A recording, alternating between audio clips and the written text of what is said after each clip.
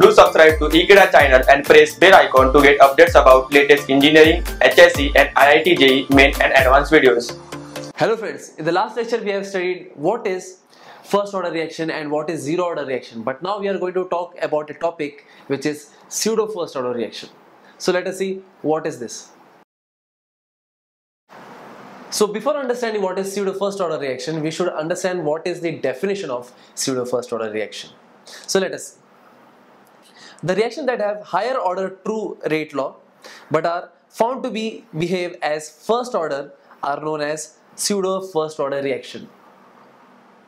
As we know that rate law is dependent on the concentration of reactant raised to the experimental exponents that is x and y. So this experimental exponents so this experimental exponents only decides the order of reaction. But for a pseudo first order reaction, this could get changed. How? We will talk about it by taking an example like hydrolysis of methyl acetate in acidic medium. So let us see what happens when hydrolysis of methyl acetate takes place when we are talking in order of reaction point of view. So just for an instance, suppose if I made a reaction of methyl acetate with water in presence of an acidic medium, then I could get an acetic acid plus methanol. So we can apply the rate law for this reaction. So after applying rate law, we could get the rate of reaction is equals to the rate constant K आगे sir सर्दी हो गया sir C H three C O O C H three into concentration of H2.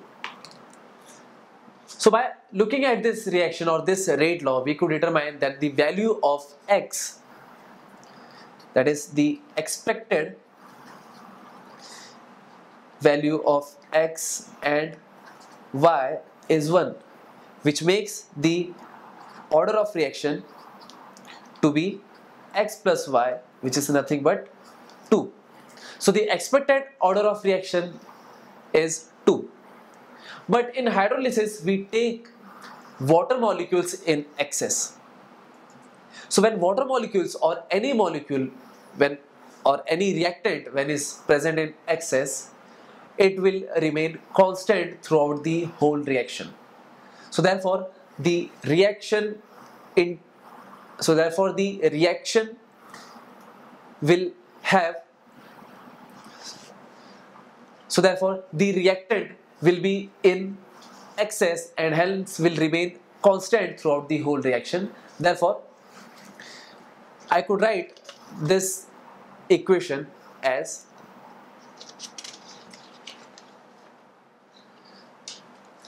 since H2O concentration is present in excess, the rate law will now be rate is equals to K concentration of methyl acetate into K dash. This is the concentration of reactant that I have represented for water. So therefore the rate will be now K into K dash CH3COOCH3 and now in this case the experimental component is X which is 1. So therefore the overall order of reaction will be 1 itself. This played a very important role to make it pseudo first order reaction that is concentration of water. If any of the concentration of the reactant is present in excess that would remain constant throughout the whole the reaction and hence that will not have a particular order of that reactant. And hence in this case the H2 and hence in this case the and hence in this case the concentration of H2O is been taken as constant and hence the original order of reaction will be first order reaction. Initially it had showed us it is a second order reaction but it has eventually find out that it was to be a first order reaction and since pseudo implies it's a false thing or a thing which is lie and hence it has lied us from second to one that is from second order to first order and hence it is said to be a pseudo first order reaction so thank you friends for watching this video. I hope you have got an idea that what does pseudo first order reaction means. So please share this video with your friends and please don't forget to subscribe Ekeeda channel. Thank you so much.